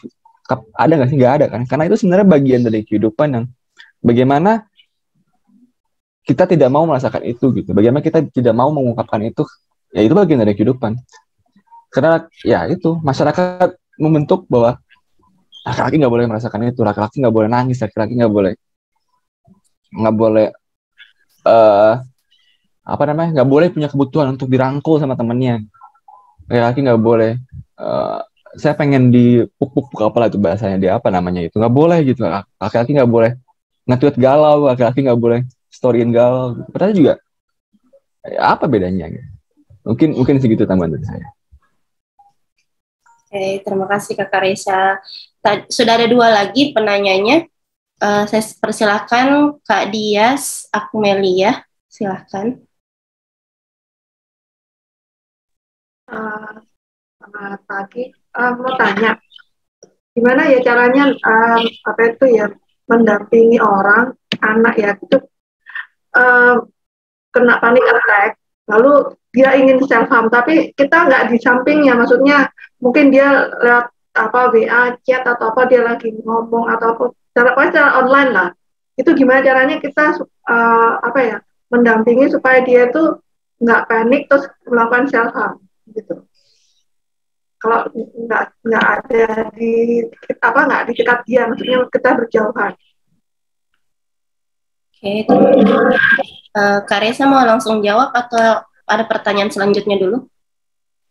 Sama satu lagi kalau gitu, sama satu lagi apakah oh, iya. pikiran pikiran tuh bunuh diri itu pikiran bunuh diri itu apakah bisa hilang ya? Maksudnya kalau kita dampingi terus menerus ya, apakah dia bisa hilang atau dia hanya menghilang sebentar, tiba kalau ada apa trigger keluar lagi?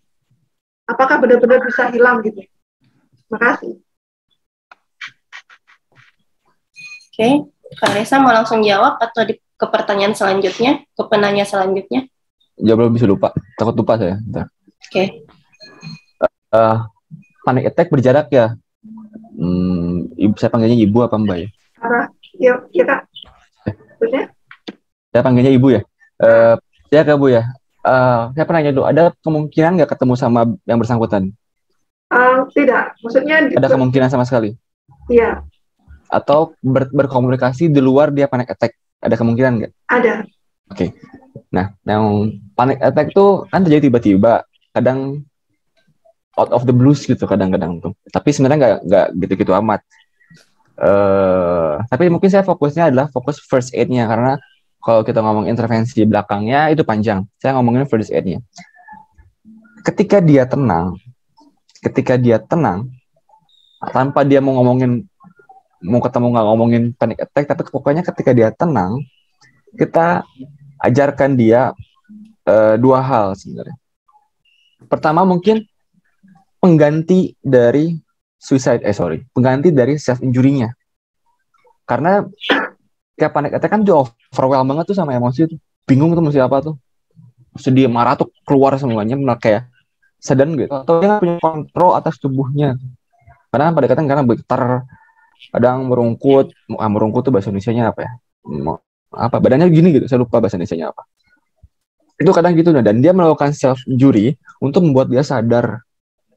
Artinya dia butuh sensasi tubuh untuk menyadarkan diri dia gitu. nah itu digali kita mau gantikan apa nih self injury-nya dengan sensasi yang mirip.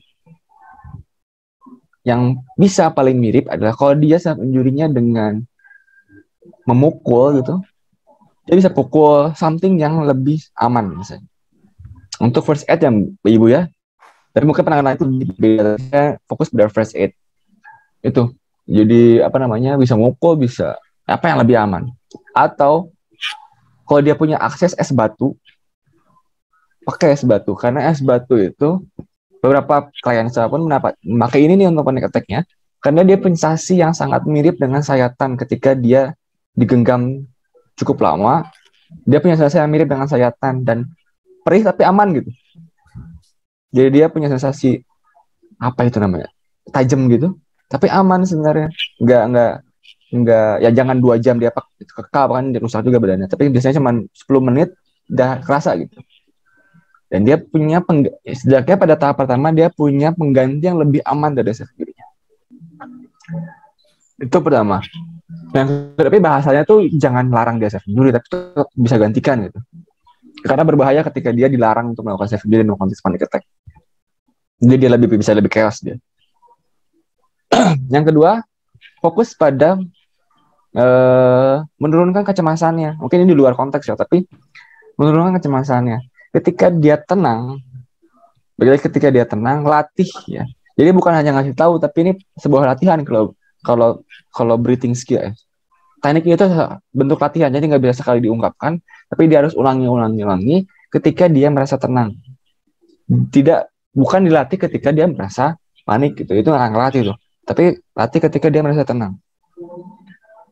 Uh, breathing skill mbak bisa cari di YouTube sangat banyak. Ada yang ada yang diafragma diafragma breathing ada yang apa breathing banyak banyak skillnya tapi intinya adalah breathing skill yang dia latih sepanjang dia tenang itu Atau ketiga ada punya in vivo. In vivo tuh ini yang ini additional in vivo tuh dia dibuat terbiasa dengan sensasi panic attack-nya. Jadi kalau misalnya orang ini sensasi panic attack-nya adalah yang khasnya adalah biasanya nafas sebenarnya. Uh, apa ya? Dan misalnya dia nafas, let's say nafas, cari aktivitas fisik yang kemudian bisa menimbulkan sensasi yang mirip. Misalnya apa ya kalau nafas? Ya nafas sederhananya dia suruh suruh ngatur nafasnya dengan cepat. Terus terusnya cepat, nanti jantung ikutin biasanya. Jadi dia udah terbiasa sama sensasi fisik, jadi dia nggak perlu takut sama sensasi fisiknya. Nggak ada udah terbiasa. Ya tiga hal itu. Digantikan coping seven jurinya dengan S atau berpemukul atau cara kreatif lain yang penting aman dan oh saya kaget. Yang penting aman dan uh, apa itu namanya? Yang penting aman dan uh, dia pikir uh, efektif gitu. Kalau dia pikir mukul nggak efektif ya jangan. Yang kedua breathing skill mbak bisa cari di, ibu bisa cari di YouTube itu banyak. Panduan rincinya how step by stepnya dan itu dilatih. Yang ketiga adalah in vivo, membuat yang bersangkutan terbiasa atas sensasi fisik dari self injury. Itu pertama. Kedua apa ya pertanyaannya? Kan saya udah lupa. Ah, apakah pikiran bunuh diri itu bisa menghilang atau kalau kita dampingin ya atau nanti kalau ada triggernya itu bisa muncul kembali? Ya, bisa, gimana bisa biar benar-benar hilang gitu? Uh, logikanya seperti ini sekali orang pernah bolos, dia akan kepikiran bolos lagi. Sekali orang pernah minum alkohol, dan dia daily minum alkohol, dia akan kepikiran minum alkohol. Saya narkoba, dia akan kepikiran soal narkoba. Karena informasi tentang itu sudah masuk, dan kita nggak bisa delete itu. Dan jangan orang suruh delete itu gitu. Jangan, kamu jangan pikirin, jangan pikirin tentang bolos, kamu jangan pikirin tentang minum gitu, atau kamu jangan pikirin tentang suicide. Dia akan hilang gitu. Dan malah malah malah makin meningkat tapi permasalahannya adalah sejauh mana pikiran itu berpengaruh terhadap kehidupannya gitu. Kayak seperti alkoholik, ya mungkin dia tahu alkohol gitu. Dia ya kalau galau minum aja gitu. Tapi seberapa jauh dorongan itu berpengaruh kepada kehidupannya? Atau seberapa jauh dorongan itu berpengaruh pada uh, apa namanya diri dia gitu? Jadi sebenarnya nggak akan pernah hilang sebenarnya dia sekali ada ya ada. Tapi yang ada adalah pikiran itu tidak berpengaruh apa-apa ke ke apa namanya ke individu tersebut. Tapi hilang nol tuh tidak mungkin. Dan malah bahkan sebenarnya keinginan untuk menghilangkan itu pun berbahaya keinginan total untuk menghilangkan pikiran itu akan membuat kita berpikir bahwa pikiran itu terlarang dia bilang gini misalnya ada orang yang pernah, pernah selesai dari suicide ideation. Misalnya. dia udah udah udah nggak kepikir secara secara secara sadar pada beberapa momen nggak kepikiran soal suicide ideation misalnya.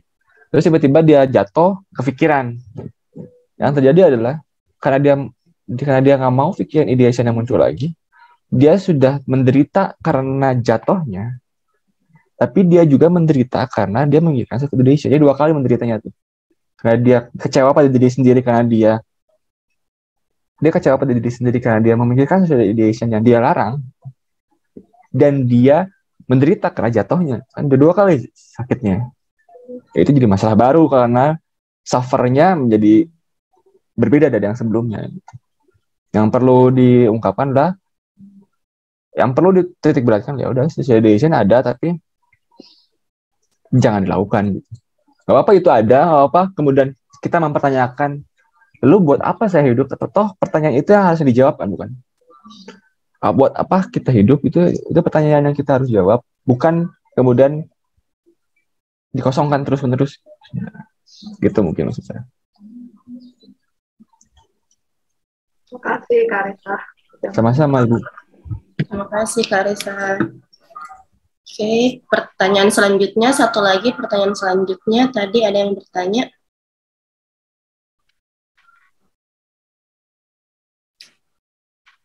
Rosandi Putra. Ya, uh, terima kasih, Dek. Ya, Assalamualaikum warahmatullahi wabarakatuh. Waalaikumsalam. Uh, uh, saya Sandi. Ya, izin bertanya, Bro Reza. Saya case saya sedikit saya bekerja sebagai konselor di tempat rehabilitasi penyelesaian penyalahgunaan.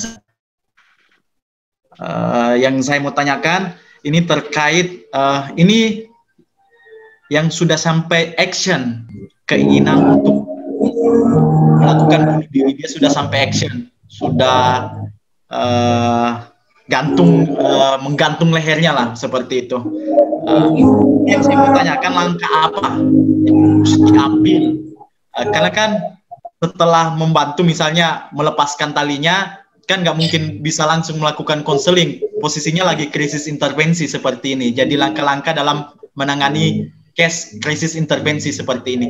Uh, di tengah komunitas yang sama-sama memiliki potensi untuk melakukan hal yang serupa. Karena mereka sama-sama uh, punya masalah uh, masalah pertamanya adalah gangguan penggunaan zat seperti itu, terus mereka pasti punya masalah dengan keluarga dan lain sebagainya itu. Yang saya mau tanyakan terkait langkah krisis intervensi menangani case yang seperti ini, bro. Terima kasih.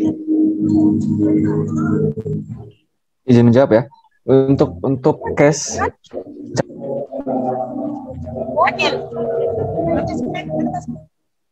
proses pengamanan sebenarnya dan itu dipisahkan dari biar kami dulu makan mama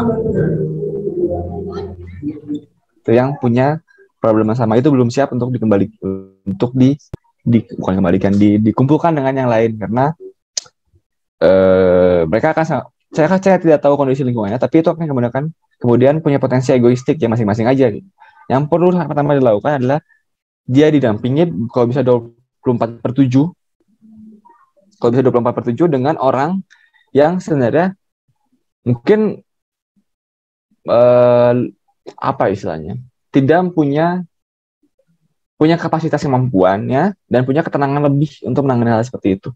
Jadi fokusnya adalah bagaimana nyawanya. Bukan menyelamatkan psikisnya itu psikis nomor dua tuh. Soalnya kalau nyawanya nggak ada, psikisnya nggak bisa diselamatin. Dia nyawanya dulu sama sudah aman, perihal tenang atau enggak itu gimana nanti.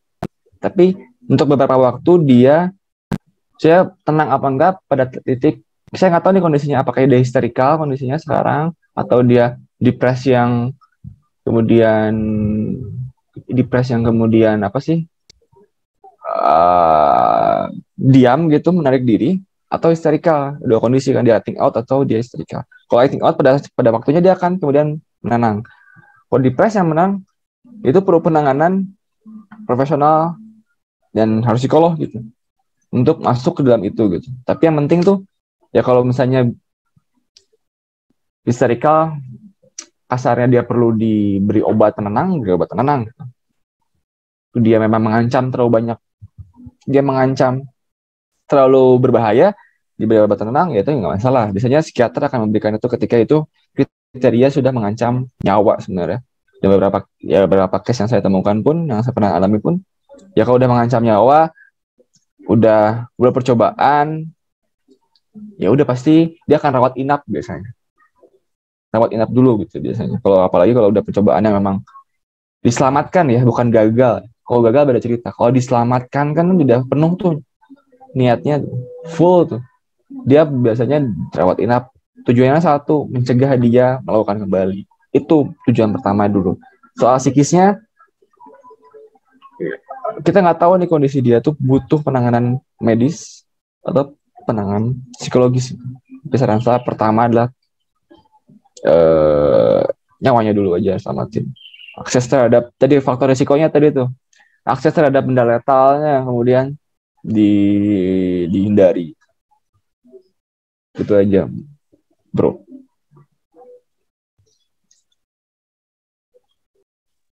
Gimana Kak Sandi? Terima kasih, Bro. Oke. Sesi pertanyaannya sudah berakhir. Karisa boleh misal boleh lagi nggak ada yang bertanya? Kira-kira satu Boleh lagi. aja. Boleh. Masih ada yang dari tadi raise hand. Satu lagi ya terakhir. Eh, Kak Rini silahkan. Ya, assalamualaikum warahmatullahi wabarakatuh.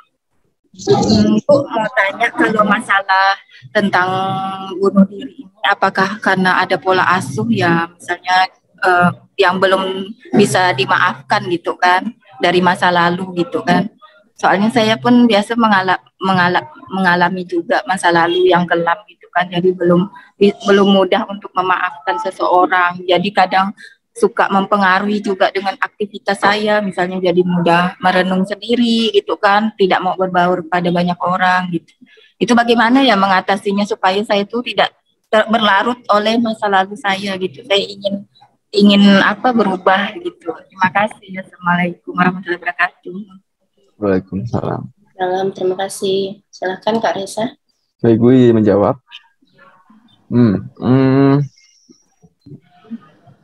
sebenarnya suicide bisa jadi bisa karena apa saja. Saya kan saya tadi sebelumnya menjelaskan bahwa faktor penyebabnya bisa banyak hal.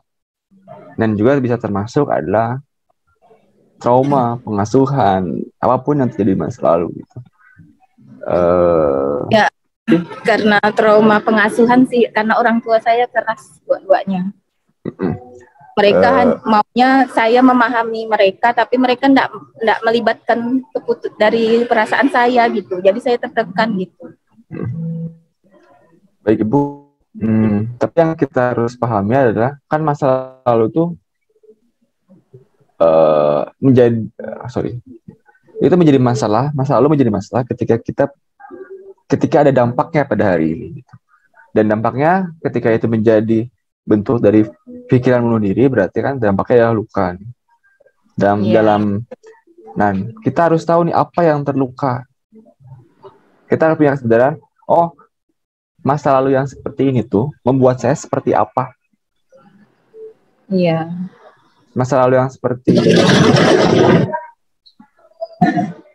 orang tua yang kan ya masa lalu ya masa lalu tidak bisa dikembalikan lagi gitu. Ya, kemudian kita bisa tidak bisa rubah lagi yang kemudian yang bisa kita rubah adalah ya masa depan. Gitu.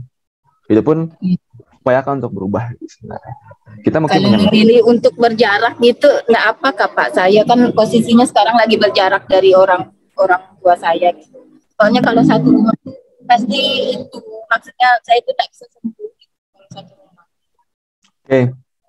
Mungkin yang pertolongan pertamanya sebenarnya iya seperti itu ya. Bukan masa lalu berarti masa ini berarti ya.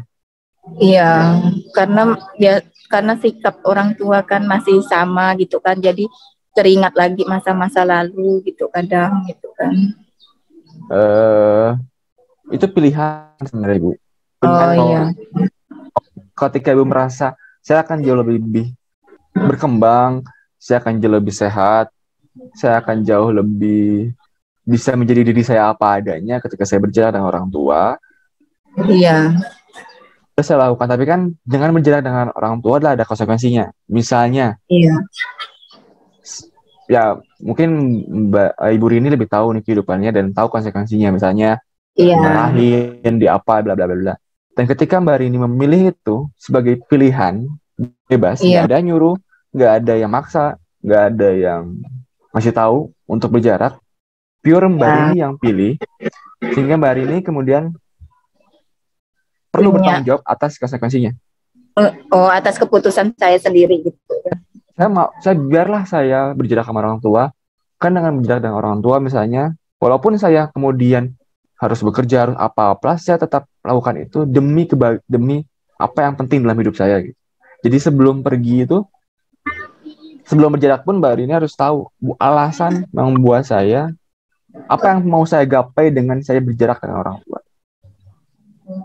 Jadi Cuman saya ingin juga bisa bisa berhubungan baik gitu dengan orang tua, tapi karena sikap mereka jadi itulah yang buat saya tuh jadi gimana gitu Pak. karena kan kita tidak bisa kan merubah orang orang lain gitu kan, hanya diri kita sendiri yang bisa kita rubah. Ibu betul sekali. Mungkin ya orang lain ya orang lain out of control kita gitu, di luar kontrol kendali kita. Itu betul sekali dan kendali utamanya ada diri kita sendiri. Kita mau milih apa nih gitu. Kita mau milih tetap berantem tuh di rumah sama orang tua atau daripada nambah-nambah sakit kepala, nambah-nambah migrain gitu. Karena terus berantem tiap hari, mungkin saya berjarak aja dan orang tua mungkin mungkin lebih baik Iya. ya mungkin perihal per- penenangan pertamanya mungkin bisa ibu pilih gitu sebenarnya ya kalau ibu memilih untuk berjarak dan ibu pikir itu pilihan terbaik dan konsekuensinya ibu mau bertanggung jawabkan dengan dengan gagah berani saya pokoknya mau Iya. itu Kalau supaya lupa dengan ingatan masa lalu tuh caranya bagaimana ya? Bisa enggak kayak gabung di komunitas atau berbaur dengan orang banyak? Hmm. Pertanyaannya sebenarnya bukan bagaimana melupakannya, Ibu. Tapi pertanyaannya kenapa Ibu terus fokus pada itu? Pertanyaannya adalah kenapa memori, kenapa kita, kan memori mas stay forever Ibu ya. Selamanya akan ada memori itu. Nggak bisa kita kayak komputer klik kanan delete gitu. Nggak ada. Nggak bisa kalau manusia nggak bisa kayak gitu. Tapi yang kita bisa adalah yang kita bisa pertanyakan adalah kenapa pikiran kita kemudian terus terjebak pada masa lalu. Adakah hal yang lebih penting daripada masa lalu yang kita bisa pikirkan? Atau kita bisa gapai atau kita fokuskan? Gitu. Seperti itu Bu Rini. Ibu Rininya ada. Bu Rini gimana Bu? Oke, mungkin sinyalnya kurang bagus. Oke, terima kasih Kak Resa jawabannya. Jadi teman-teman, eh, kami di Edukons juga itu punya layanan konseling online. Namanya itu I Feel You. Jadi layanan konseling online ini bisa dimanfaatkan teman-teman untuk konsultasi masalahnya supaya ketika punya masalah eh, yang men- mengarah ke self harm atau self injury, mungkin teman-teman konselor dari Edukons atau I Feel You akan mencoba untuk membantu teman-teman. Silahkan menghubungi adminnya Edukons dan akan diarahkan ke konselor dan psikolognya dari I Feel You.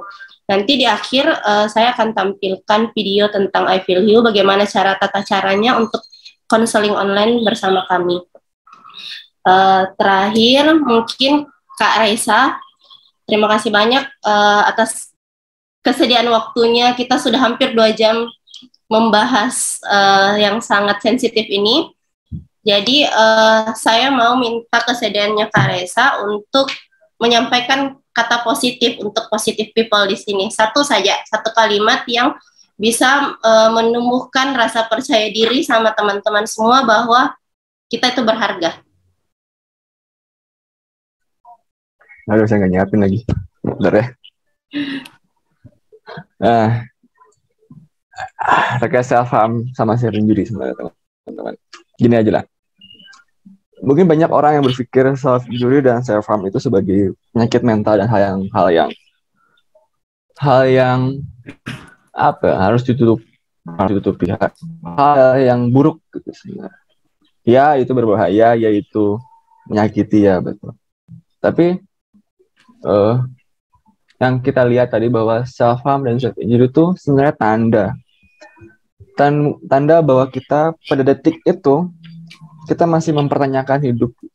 Kita mempertanyakan tentang hidup yang ideal kita mempertanyakan tentang hidup yang seharusnya terjadi dalam hidup kita kita mempertanyakan tentang buat apa sih kita hidup kita mempertanyakan apa yang lebih baik daripada ini kita mempertanyakan hal yang lebih besar gitu dalam diri kita kita mempertanyakan apa ya posisi yang lebih ideal dari diri kita gitu dan itu nggak dipertanyakan sama orang gitu. nggak dipertanyakan sama semua orang sebenarnya nggak dipertanyakan sama orang-orang yang terlena sama hidup hidup yang penuh dengan bergelimang kebahagiaan semu gitu. orang-orang self injury orang self tuh orang-orang dengan suicide tuh punya blessing tanda kutip untuk melihat dunia lebih dalam dan punya kesempatan untuk eh, punya kesempatan untuk menciptakan hidup yang lebih baik gitu sebenarnya. Singkat kata, self injury dan self harm adalah tanda kalau detik itu detik itu adalah kita manusia kuat yang masih berjuang untuk mendapatkan hidup yang ideal. Untuk untuk mendapatkan hidup yang kita inginkan sebenarnya. Daripada menyerah dan kemudian hilang.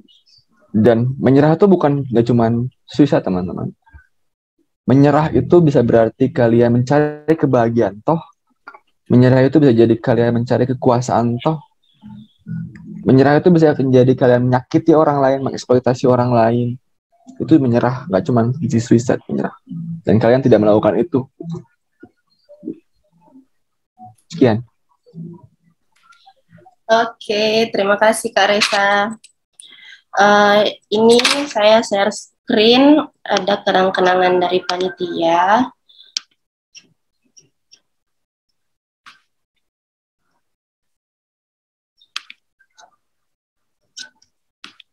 Ah, terima kasih.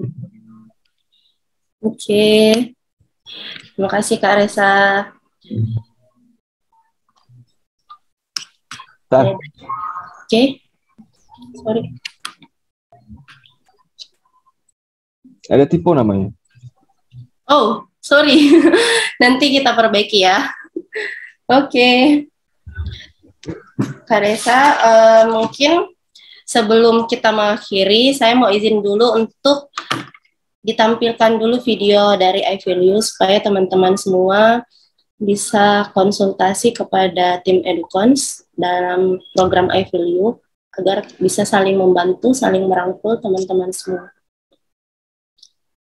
Silakan panitia mungkin dari Kak Wiwi di share screen.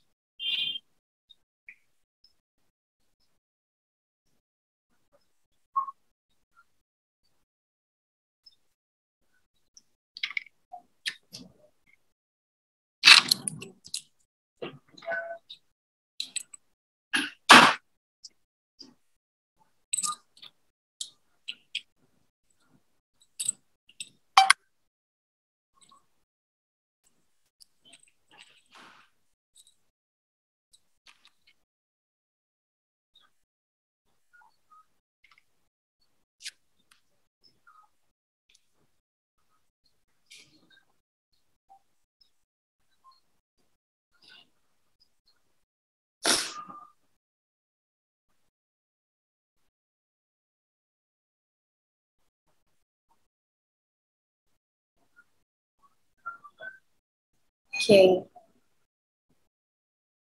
Terima kasih teman-teman panitia. Uh, di kolom chat sudah ada daftar hadir untuk teman-teman bisa isi agar mendapatkan sertifikat dari Edukons. Oke, saya akhiri. Semoga uh, semua ilmu-ilmu dari Karesa ini sangat bermanfaat untuk teman-teman semua, bisa untuk di-share ke teman-teman kita semua yang punya keinginan untuk menyakiti dirinya sendiri. Mari saling berempati untuk menolong orang lain yang butuh dirangkul, butuh untuk dipedulikan.